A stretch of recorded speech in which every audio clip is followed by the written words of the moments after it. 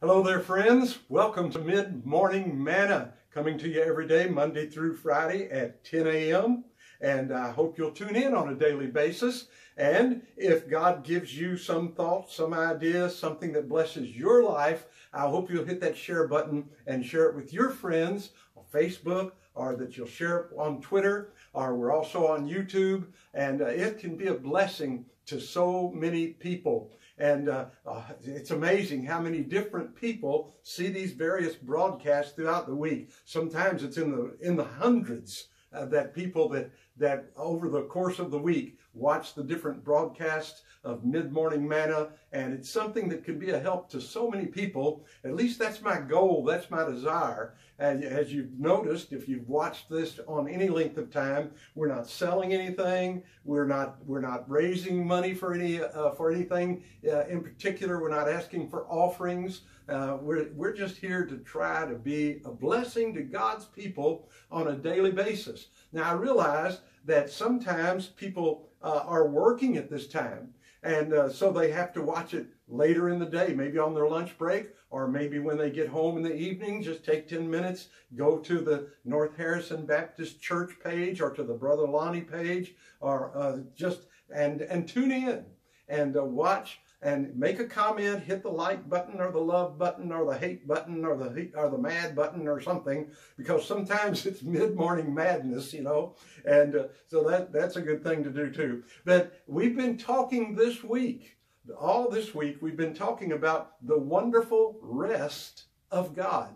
Maybe I should have said the rest from God because it's not I'm not talking about God's rest. God doesn't ever need any rest. But I'm talking about the peace and the rest that he gives to his children and how he wants to work in your life and help you to have that rest. And I, I want you to notice today how we can witness for God. Being a witness for God. See, the main job of every Christian is to be a witness for Christ.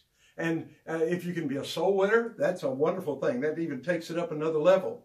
But just to be a testimony, to be a witness, to let folks know what you believe and why you believe it, to be able to do that. Uh, to, to be able to do that successfully takes a little bit of knowledge on your part and to understand some things. And so as we go through these things, or even as you listen to other Bible teachers and preachers, or in your church on Sunday, uh, our Sunday school, it's always a good idea to have a pen handy where you can take down some notes, where you can write down things, or you can uh, you can underline some things in your Bible, or make a note in the margin of your Bible, uh, and and begin to learn and grow in grace so that your life can be a testimony and a witness for Christ. Well, I don't have time today to go back and review all the things that we've uh, talked about this week, the worship, the work, the wicked, uh, the wicked, the wonder, and uh, other things that we've mentioned through the, through this week. But if you'd like to get more of it, all you have to do is just keep scrolling down on the site that you're on right now, and you'll come to the ones day by day. And I think they'll be a blessing to you. At least I hope they will, uh, with this theme of the wonderful rest of God. And God wants you to have that rest. He wants you to have peace of mind. He wants you to be able to lay down and sleep at night and be refreshed the next day. He, he doesn't want you to go through the day all stressed out and all worried and uh, or all disgusted or all whatever else it is. He wants you to have that, that rest in your life where when people look at you, they just wonder, how can they be so calm in this ungodly day that we're living in?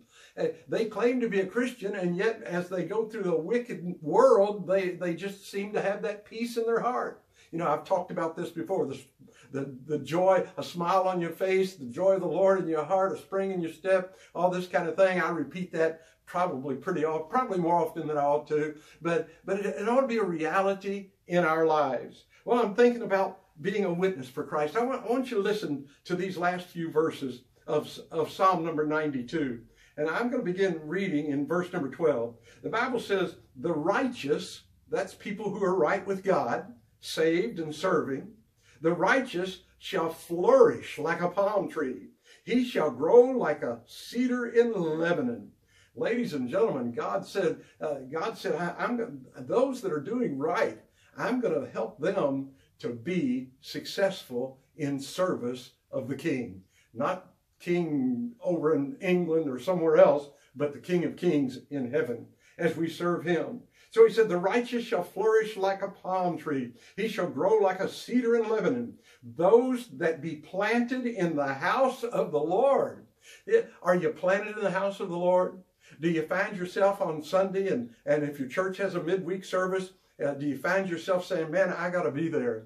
I, I want to be like a permanent fixture at the house of the Lord. I, I want to be planted there. I, I'm, I'm going to be a consistent, faithful, godly church member. And he said, those that be planted in the house of the Lord shall flourish in the courts of our God. Because one of these days, he said, if, you, if, you, if you're planted in the house of the Lord right now, when you get to heaven, you're going to flourish in the courts of God. Isn't that amazing? And uh, you, it's a wonderful thing what God has, has for us. Look at verse number 14. They shall still, listen to this. Now, I like this verse. I, I love it. I identify with this verse. I, I believe it's true, and I claim it. They shall still bring forth fruit in old age. You say, you know, so many churches, so many of the people are just old people. And uh, you know what? They're some of the greatest Christians in the world. And the Bible says, old people, listen to me. Hey, all you old people out there, listen to me now. Listen. Pay attention. God said, you're still going to flourish in old age. Don't use your age as an excuse. Use it as an opportunity. Let God use you. Maybe you can't maybe you can't go as far or as fast as you used to when you were a teenager or a young adult or whatever. And now you've hit that old age mark. You know, you're you're pressing on. You're the three score and ten, maybe four score. And and you say, Well, I just can't do anything anymore. Oh, yes, you can. I want to tell you this right now. Don't you don't you talk back to God like that. God said you're going to flourish. If God was finished with you, he'd take you on to heaven. He's not finished with you yet. That's why you're still here. Flourish in the old age. Listen what he said. he shall flourish in the courts of, the, of our God. They shall bring forth fruit in old age. They, uh, this one, I don't, don't, don't want to identify with this too much. They shall be fat and flourishing. They shall be fat. Now, he's not talking about overweight. He's talking about full. He's talking about you're, you're, you're going you're gonna have a, a, sufficiency of everything that you need. God is going to supply your need. God's going to open the doors for you. God's going to be your strength and your help. And He's going to be your defense in times of trouble. And He's going to help you until He calls you home to heaven. And He said, to show that the Lord is upright. He is my rock and there is no unrighteousness in him. Now let me just read those, those verses together. Verse 12 on Psalm 92, the righteous shall flourish like the palm tree. He shall grow like a cedar in Lebanon. Those that be planted in the house of the Lord shall flourish in the courts of our God.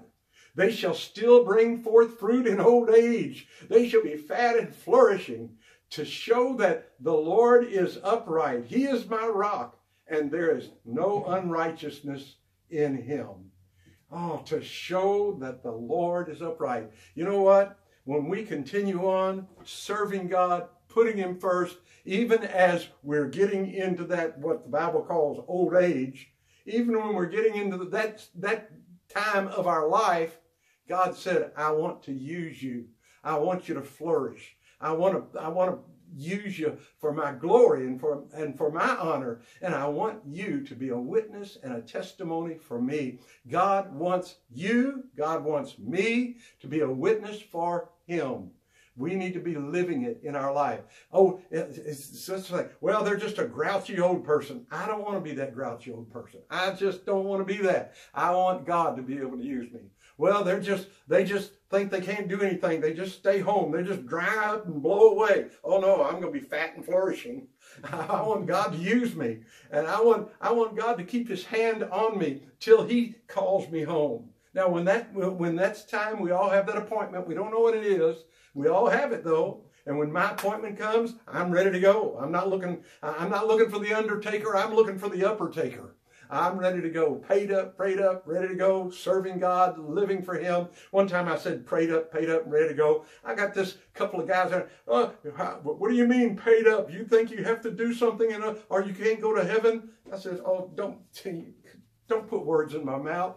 No, I'm saved. That's why I'm going to heaven. And that's the only reason I'm going to heaven. I, Jesus paid it all. I'm just talking about I'm prayed up and I'm paid up. I, have tried to do everything I'm supposed to do up to this point in my life. That's what I mean. And I'm doing it not in order to earn heaven. I'm doing it because I love God. And I want to win others to Him if I can. I want to be used of God. Well, let's pray together and we'll be going. Mm-hmm. Heavenly Father, thank you for the wonderful, wonderful joy of serving you. And thank you, Lord, that you give your servants rest. Lord, we have, uh, we're, we're, we're not just mentally and spiritually exhausted all the time. Lord, we have a fervency about us. We have a joy. We have a victory. And uh, Lord, we have a passion. And we want to see others come to Christ. So help us, Lord, whatever the age, whether we're young people, teenagers, uh, middle, uh, middle-aged, young adult, senior adult, whatever. Uh, Lord, help us to be busy living for thee, being planted in the house of the Lord, and trying to get others there as well. And Father, we give you the praise in Jesus' name. Amen. In this modern new world we live in today, by believers are thought of as strange. They say we are living our past, without change or compromise we will not last. But we're set apart from the world and its